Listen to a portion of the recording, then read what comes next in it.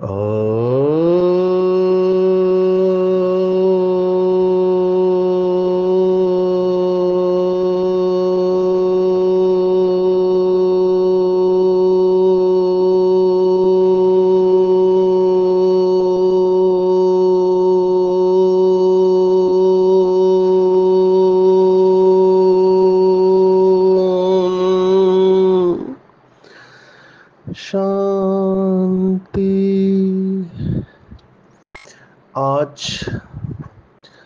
29 जून 2024 भारत में शनिवार है। Today is 29th June 2024 and it's Saturday in Bharat आज की मुरली का जादुई रहस्य, स्वयं को प्रेरणा देने के लिए magical secrets of today's murli for motivating the self आज की साकार मुरली पूरी भगवत गीता है। लौकिक श्रीमद् भगवत गीता के चौथा अध्याय, नौवा अध्याय, पंद्रहवा अध्याय और सोलहवा अध्याय का काफ़ी रेफरेंस आया हुआ है।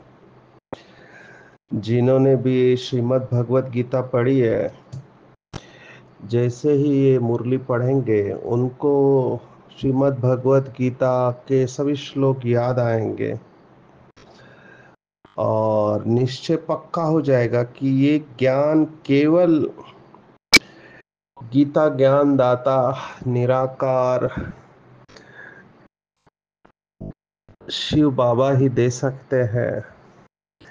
आज की मुरली में जोड़ियाँ आई हुई है। मुरली को रिवाइज करने का, याद में रखने का बहुत अच्छा तरीका। सर्वश्रेष्ठ टीचर शिव बाबा से सीखना चाहिए। निर्णय शक्ति बढ़ाने के लिए। ऐसे कहते हैं कि आपको black and black and white zone में रहना चाहिए। आपके निर्णय, कई बार लोग मूंझ जाते हैं कंफ्यूज हो जाते हैं। उनको पता नहीं चलता है कि क्या निर्णय लेना चाहिए।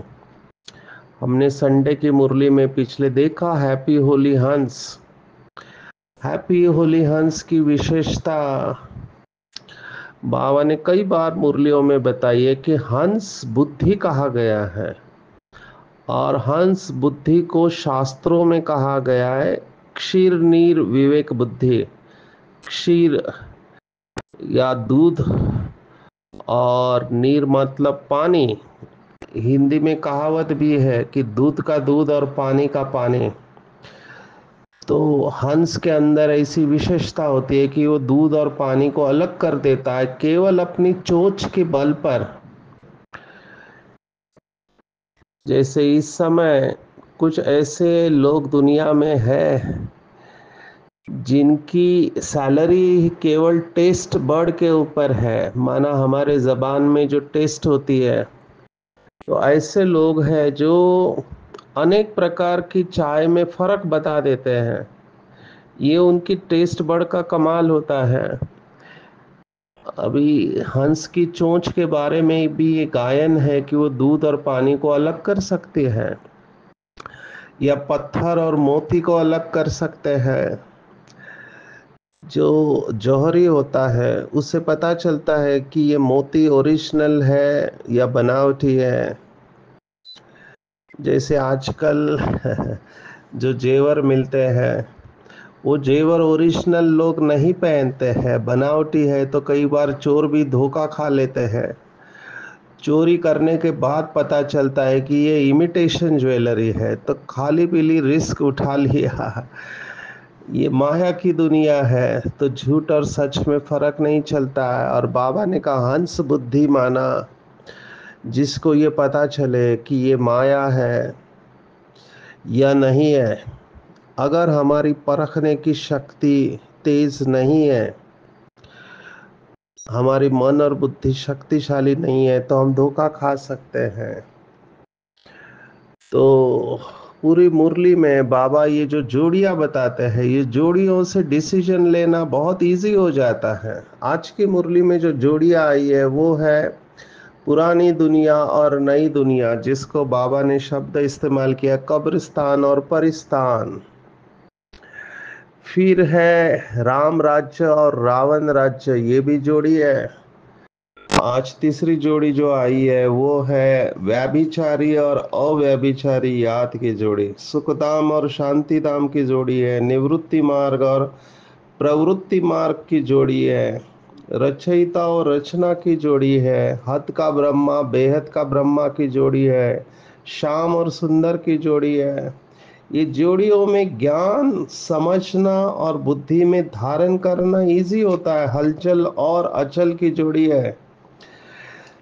तो ये सब जोड़ियों से ज्ञान बहुत अच्छी तरह से बुद्धि में बैठता है। एक तो याद सहज रहती है।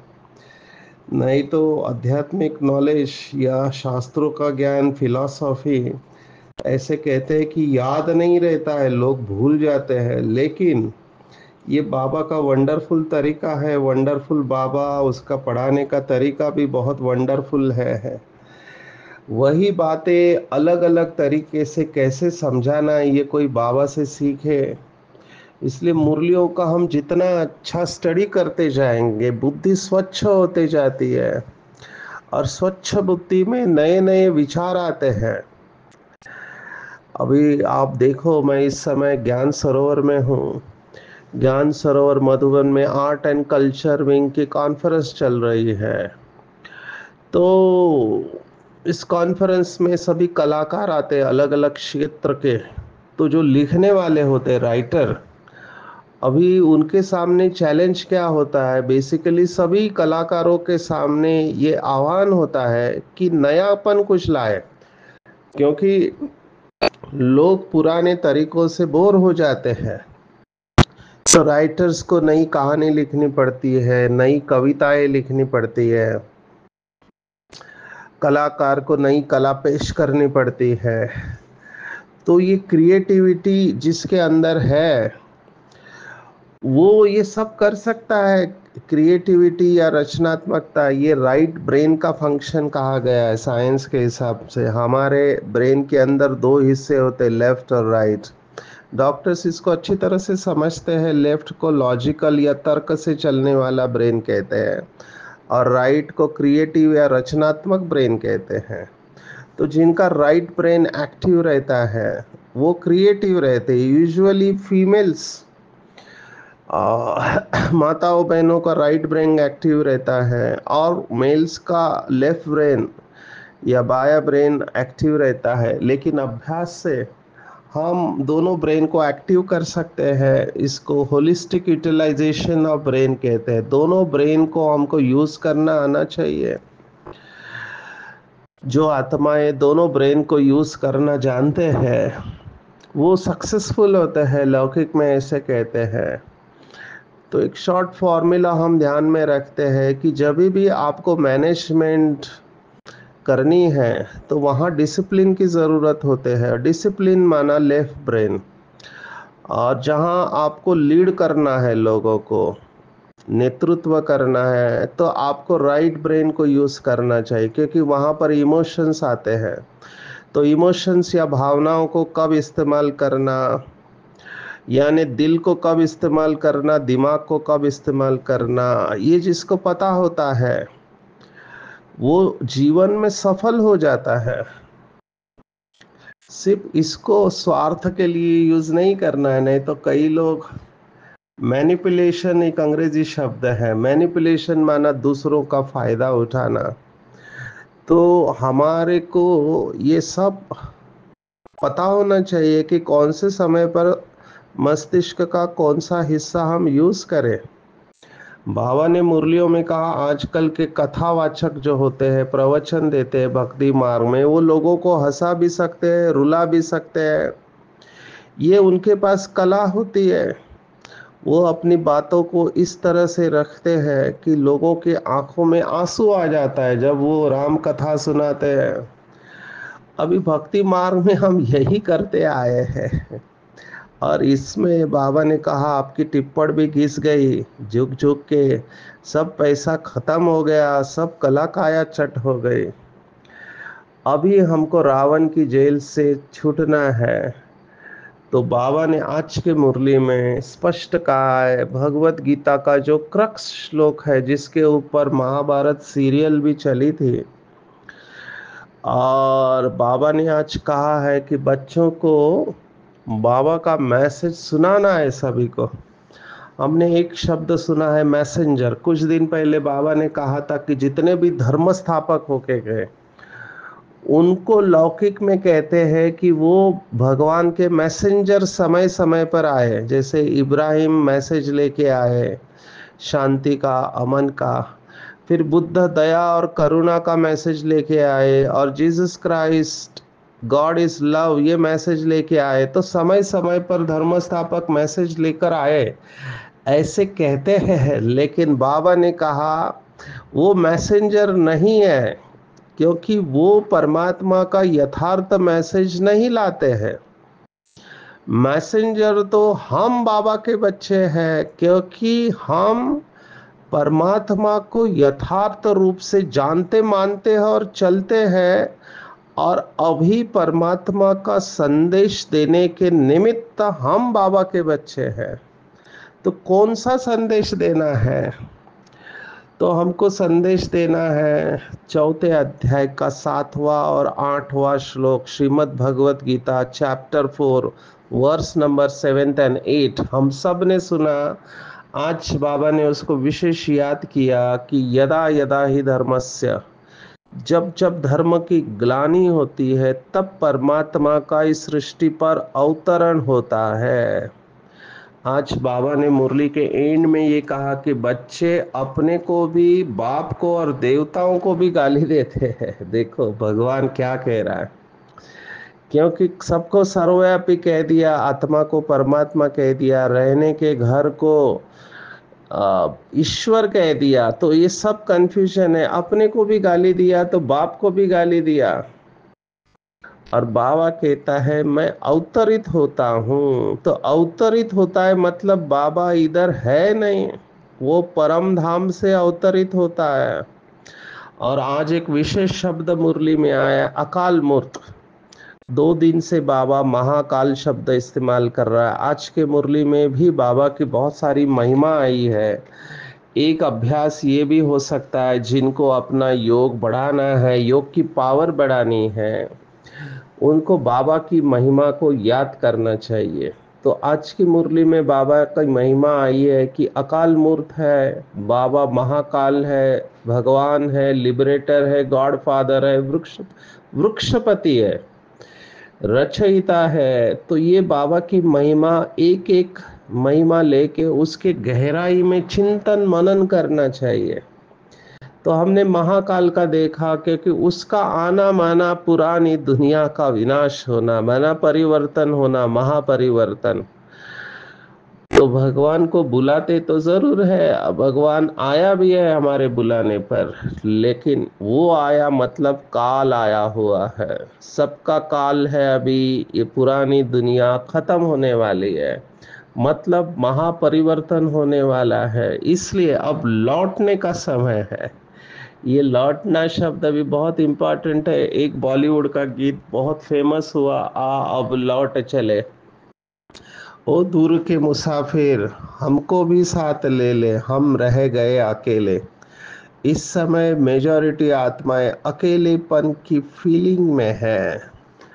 सब कुछ है घर में, सभी लोग हैं, फिर भी आइसोलेशन, माना अकेलेपन की फीलिंग आती है। मुझे लोग मिलते हैं कि क्यों हमको अकेलापन फील होता है? अकेलापन फील होना। इसका मतलब आप अपनी कंपनी को एंजॉय नहीं कर रहे इसलिए आपको दूसरे की कंपनी चाहिए। जो व्यक्ति अकेलापन को एंजॉय करता है, उसको योगी कहते हैं। कई लोग आजकल खास करके यूथ, मेरे को कहते हम बोर हो गए, बोर हो गए, बोर हो गए, हमको पार्टी करना है, घूमना है। क्यों? क्योंकि खुद की कंपनी एंजॉय नहीं कर पाते और योगियों को आप कहो कि एकांत में रहो तो उनके लिए जैसे कि स्वर्ग का सुख है एकांत। तो एकांत और अकेलापन में फ़र्क है। अकेलापन एक प्रकार से नकारात्मक भावनाओं को लेकर आता है कि मेरा कोई नहीं है इस दुनिया में। मुझे एक आत्मा मैसेज भेजती है कि मैं मरना चाहती हूँ, मेरा कोई नहीं है इस दुनिया में। तो जब व्यक्ति इतना निराशा की अति में जाता है तो वो खुद को ख़त्म करना चाहता है। उसको लगता है, मेरा कोई बचा ही नहीं है। हिंदी में कहते हैं, जिसका कोई नहीं होता है, उसका खुदा होता है, यार। अगर आप अपने दुख और दर्द को दूर करना चाहिए तुम बेसहारा हो तो किसी का सहारा बनो। तुमको अपने आप सहारा मिल जाएगा। ऐसे एक बहुत प्रसिद्ध बॉलीवुड का सॉन्ग भी है। तो अकेलापन फील नहीं करना है। कम से कम बाबा के बच्चे तो अकेले नहीं है, क्योंकि हम कम्बाइंड है। बाबा ने एक मुरली में कहा था, जैसे शरीर और आत्मा कंबाइंड है। वैसे बाप और बच्चे कंबाइंड है। तो बाबा हमारे लिए इस पुरानी दुनिया, पतित दुनिया, पतित शरीर में आया है, वो अकाल मूर्त है। आज एक विशेष बात आई। बाबा ने कहा, तुम सभी आत्माओं को अपना तख्त है, अकाल तख्त, जहाँ पर आत्मा विराजमान होती है। हमारा एक भाई है साइंटिस्ट वो इसी के ऊपर रिसर्च कर रहा है कई सालों से। कि आत्मा और ब्रेन, इसका कम्युनिकेशन कनेक्शन कैसे होता है? माना आत्मा के अंदर जो जानकारी है, वो ब्रेन में कैसे ट्रांसफ़र होती है? अब ये बात थोड़ा समझना मुश्किल है। थोड़ा मैं बताता हूँ, हमारा इसके ऊपर चिंतन चला कि हमारे मस्तिष्क के अंदर हंड्रेड बिलियन न्यूरॉन्स है। माना नौ सेल्स है ब्रेन के अंदर, और आपको आश्चर्य लगेगा कि इतने बिलियन, वन बिलियन माना सौ करोड़, माना दस हज़ार करोड़ पेशिया है। अभी ये एक दूसरे के साथ फिजिकली कनेक्टेड नहीं है। सबसे बड़ी बात यह है, माना एक दूसरे के साथ ये जुड़े हुए नहीं है। दो न्यूरॉन्स के बीच में एक जगह होती है, जिसको साइनेप्स कहते हैं। साइनेप्टिक क्लेफ्ट थोड़ा टेक्निकल शब्द है। मैं ये कह रहा हूँ, दो पेशियाँ जैसे हमारी चमड़ी की पेशियाँ एक दूसरे से सटी हुई, सट, सटक के लगी हुई है, चिपकी हुई है, ब्रेन में वो जुड़ी हुई नहीं रहती है, वो अलग अलग है और उनके बीच में एक जगह रहती है जिसको साइनेप्स या आप गैप भी कह सकते हैं। वहाँ पर न्यूरो या केमिकल रिलीज़ होते हैं, जिसके वजह से ये दोनों आपस में कम्युनिकेट करते हैं। तो ये भाई रिसर्च कर रहा है कि आत्मा और ब्रेन के अंदर क्या ऐसा है जैस, जो आत्मा के अंदर जो वाइब्रेशन है, वो ब्रेन के ऊपर चला जाता है या ब्रेन की जानकारी आत्मा के ऊपर आ जाती है। ये कैसे कम्युनिकेट होता है? ये बहुत बहुत इंटरेस्टिंग सब्जेक्ट है। अगर आपके आँखों के सामने चित्र आ रहा है तो मैं अकाल तख्त के बारे में ही कह रहा हूँ। बाबा जब कहता है कि अकाल तख्त नशीन आप आत्मा हो तो अपने आँखों के सामने आपके क्या चित्र आता है, मुझे नहीं पता। मेरे आँखों के सामने आता है कि मैं बिंदु या मैं लाइट, ब्रेन में हूँ, बराबर उस स्थान पर। जहाँ पर हम कहते हैं हाइपोथैलेमस नाम का एक अंग है। आप इस हाइपोथैलेमस के लोकेशन को ब्रेन के चित्र से कनेक्ट करके देख सकते हैं कहाँ पे है। तो इसका लोकेशन बराबर दो आँखों के बीच की जो जगह जगह है, ब्रुकुटी, उसके पीछे आप जाएँगे तो आपको मध्य में मिलेगा। तो वहाँ पे आत्मा विराजमान है, कहते हैं। तो विराजमान माना वो बैठी है। लेकिन वो ब्रेन के साथ चिपकी हुई कैसे है? एक क्लू आपको देते हैं कि जब दादी ट्रांस में शुरुआत में जाती थी अव्यक्त बाप दादा के वक्त, अवतरण होता था तो आप सबने नोटिस किया होगा कि दादी को झटका लगता था। अब ये झटका क्यों लगता है? क्योंकि आत्मा ने शरीर को पकड़ के रखा हुआ रहता है। इसी के ऊपर हम अभी चर्चा कर रहे तो आत्मा ने शरीर को पकड़ के रखा हुआ है, बाबा वो कनेक्शन ही तोड़ देता है और बाबा कंट्रोल अपने हाथ में ले लेता है। इसको और समझना है तो थोड़ा घोड़ा गाड़ी को आँखों के सामने लाओ। घोड़े भाग रहे हैं, घोड़ों का जो रथ है, उसकी जो लगाम है, वो रथी ने पकड़ के रखी हुई है। तो मैं आत्मा रथी अपने इंद्रियों का लगाम पकड़ के बैठे हूँ। अभी बाबा आता है और वो लगाम हाथ से खींच लेता है तो मुझे झटका लगता है, मेरा कंट्रोल चला जाता है। और बाबा कंट्रोल ले लेता है। कुछ ऐसा ही गुलजार दादी के साथ होता है। अभी ये तो हम समझ रहे हैं, लेकिन ये कनेक्शन ये जो लगाम हमने समझ के रखा, ये लगाम है क्या? कैसे कनेक्ट होता है? ये एक चिंतन का विषय है। लेकिन जैसे ही हम शरीर से डिटैच होने लगते तो हम अपनी इच्छा से ये जो अटैचमेंट है आत्मा और ब्रेन के अंदर या शरीर के अंदर, इसको हम अपनी इच्छा से काट लेते हैं। और जिनका इसका बहुत काल का अभ्यास होगा, उनको एक वरदान मिल जाता है, जिसको कहा गया इच्छा मृत्यु का वरदान। वो अपनी इच्छा से शरीर छोड़ते हैं, इतना अशरीर अवस्था में चले जाते हैं। लौकिक में भी ऐसे योगी है जो अपनी इच्छा से ये कनेक्शन को तोड़ देते हैं। आत्मा का शरीर के साथ जो कनेक्शन है, अपनी इच्छा से तोड़ देते हैं और अपनी इच्छा से शरीर छोड़ देते हैं। तो बहुत सारी पावर्स इससे आती है। ये सब चिंतन चला केवल इसे एक शब्द से अकाल मूर्त। तो बाबा अकाल मूर्त है, उसको अपना तख्त नहीं है, वो ब्रह्मा बाबा का तख्त इस्तेमाल करता है, भाड़े से लेता है। जिसको फिर घोड़ा गाड़ी कह दिया, जो अभी मैंने आपको चिंतन बताया कि ब्रह्मा अपने रथ को चला रहा था। लेकिन शिव बाबा आया और उसके रथ का लगाम अपने हाथ में ले लिया। और इसी को उन्होंने महाभारत में कहानी बता दी कि श्री कृष्ण सारथी है और अर्जुन बैठा हुआ है और वो बाण मार रहा है। सिंपल बात थी कि ब्रह्मा बाबा अपना रथ चला रहा था, शिव बाबा ने आके उस रथ का कंट्रोल ले लिया। अब ये एक ही पुरुषार्थ है जो हमको संपूर्ण अवस्था तक लेके जाएगा। इसको भक्ति मार्ग में भी कहते, करण करावन हार, माना, हम सब कठपुतली आए और हमारी डोर उसके हाथ में है, वो हमको नचा रहा है, कितनी अच्छी बात है। मुझे ये सुन के ही खुशी हो रही है कि बाबा मुझे चला रहा है, वो उठा रहा है, खिला रहा है, पिला रहा है, सुला रहा है, लेकिन अपनी डोर पूरी तरह से दे देनी चाहिए। इसी को भगवत गीता का सार कहते हैं, सर्वधर्मान परित्यज मामे कम शरणम रजा सब कुछ भूल के अपनी पूरी डोर उसके हाथ में दे दो, वो जहाँ रखे, जैसे रखे, जो खिलाए, जो पिलाए, मुझे मंजूर है। तब देखना जीवन कितना सुंदर हो जाता है। बाबा तेरे फूलों से भी प्यार तो तेरे कांटों से भी प्यार। अभी होता क्या है? लोग फूल मिलते हैं तो खुश हो जाते हैं, लेकिन जब कांटे आते हैं तो कंप्लेंट करने लगते हैं कि भगवान ने मेरे साथ ऐसा क्यों किया? बाबा ने इसका जवाब दिया है कि आप भगवान से बच्चा मांगते हो तो बच्चा लेके गया तो फिर रोते क्यों? जिसने दिया था उसने वापस ले लिया। आपको दोनों में समान रहना चाहिए। और दोनों परिस्थितियों में जो समान रहता है, उसी को योगी कहते हैं। बाबा हमको लिबरेट करने के लिए आया हो जेल में है अभी ये रियलाइजेशन ही नहीं है बच्चों में कि वो जेल में है। वो तो समझते हैं हम स्वर्ग में है। और भगवान कहता है, जिसे तुम जे, स्वर्ग समझते हो, वो आखिर में माया की जेल है। अंत तो गत्वा आपको दुख ही मिलना है। भगवत गीता का श्लोक है, दुखालयम अशाश्वतम।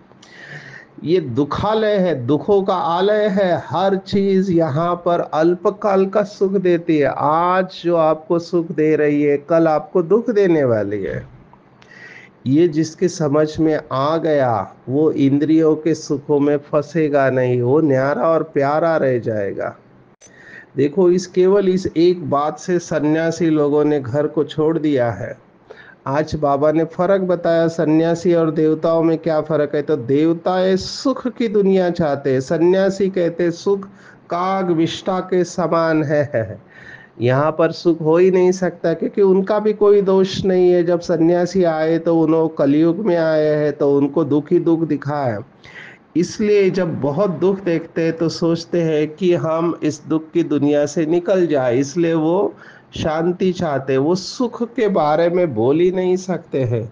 सुख का ज्ञान केवल देवताएँ ही मांगेंगे, क्योंकि देवताओं ने उसका अनुभव किया हुआ है। इसलिए बाबा ने आज बच्चों के लिए एक शब्द इस्तेमाल किया है, जिसे कहा है ऑल राउंड पार्ट बजाने वाले और कोई भी एक्टर्स ऑल राउंड पार्ट नहीं बजाते हैं। केवल हम ही है जो ऑल राउंड पार्ट बजाने वाले हैं। मैक्सिमम चौरासी जन्म लेते हैं। बाबा ने आज कहा मिनिमम मिनिमम आप एक एक जन्म लेंगे मिनिमम लेकिन मैक्सिमम आप लेंगे चौरासी जन्म। तो उसको ही हीरो एक्टर कहते हैं, जो आदि से अंत तक ड्रामा में रहता है, नाटक में रहता है, उसको हीरो कहते हैं। तो हम हीरो एक्टर्स हैं और सबसे पहले पहले देवता है बाबा से बिछड़ते हैं। ये भी बहुत इंटरेस्टिंग है। देखो, सबसे पहले सतयुग में हम ऊपर से नीचे आते हैं तो बाबा से दूर हम ही होते हैं। और हम ही वो भाग्यवान है जो सबसे पहले बाबा से मिलते हैं। तो नशे में चला जाना चाहिए। रचते और रचना का ज्ञान कोई शास्त्रों में नहीं है। आप देखो, कोई भी शास्त्र देखो। हालाँकि there is a chapter in Bhagavad Gita और there is a chapter in Bible and Quran वो क्रिएशन के बारे में कहते हैं। उनका थेरी अलग है क्रिएशन कैसे होता है। वैसे तो चतुर्युगी का कंसेप्ट भी बताते हैं लोग सत्युग त्रेता द्वापर, कलयुग सी तरीका और कैलकुलेशन इसमें गड़बड़ कर दिया है। बाकी वो मानते हैं कि ये ड्रामा रिपीट होता है। लेकिन कैलकुलेशन में सत्युग त्रेता को लाखों वर्ष देने के कारण बिछारे मूंझ पड़े हैं और ऐसे लोगों के ऊपर रहम आना चाहिए। हमको फिर से फिर से अव्यभिचारी याद के द्वारा स्वयं योगेश्वर भगवान योग सिखाता है। मुझे कई लोग कहते हैं, हम इस आश्रम में जाके योग सीखते उस आश्रम में। मैं उनको कहता, हमको स्वयं भगवान योग सिखाता है तो उनको विश्वास नहीं होता है। हम, हमको ये सब चित्र ध्यान में बाबा ने सिखाए है। ये कोई पूछे तो बताना ये नॉलेज कहाँ से है बोला, ध्यान में आया है। बाबा ने हमको ट्रांस में दिखाया है। बाबा ने आज दो इम्पोर्टेंट शब्द इस वंदे मातरम। भारत में कुछ लोग हैं जो वंदे मातरम नहीं कहते, क्योंकि वो समझते हैं कि हम ऊपर वाले के आगे ही झुकेंगे। लेकिन ऊपर वाला किसके आगे झुक रहा है? सोचो, भगवान। वो खुद कह रहा है वंदे मातरम क्योंकि मेजॉरिटी माताओं की है और माताएँ ही बहिष्त ला, लाने वाले। ये बहुत बड़ी बात बाबा कह रहा है। माताओं को नशा चढ़ जाने चाहिए।